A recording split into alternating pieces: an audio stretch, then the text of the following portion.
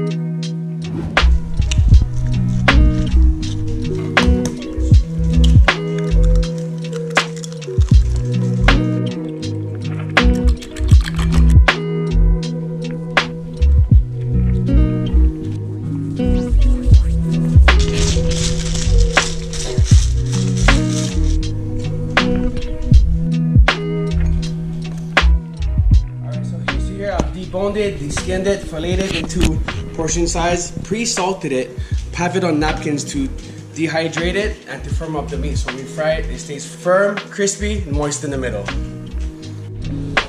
Okay, I'm gonna give it a nice egg bath, nice even coat. Okay, I'm gonna lay away, lay away for me. Okay.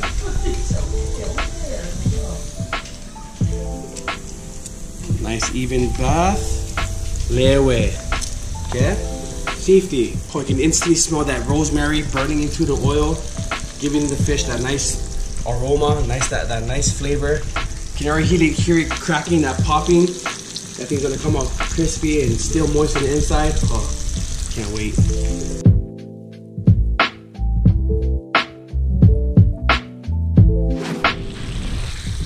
Alright, so I'm gonna cook it about three to five minutes each side, golden crispy brown, then I'll flip it to the other side, then the next batch. Alright, so this is the color I'm looking for, that golden crispy brown, and it's still gonna be moist on the inside. So crispy on the outside, moist on the inside, perfect for the taco.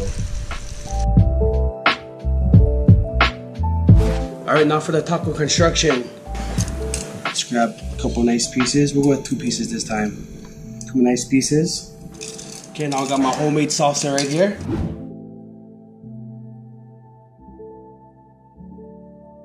Lettuce.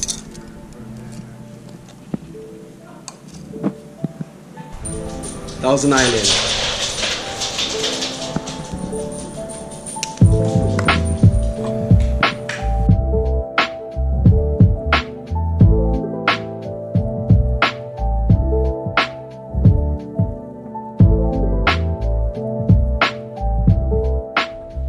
All right, here we go. Our final product.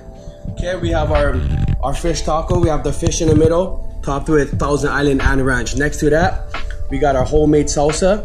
Next to that, we got our lettuce, cheese. We got some Mexican rice, side chips. Yee, enjoy.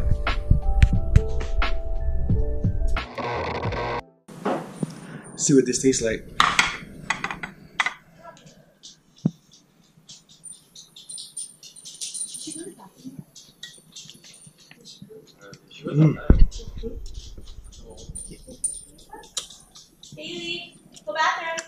Very good. Instantly, you can taste the aroma from the homemade salsa. Next come the fish. Then the Thousand Island just tops off everything. Mm. Very good, very delicious. Stay tuned. Mm.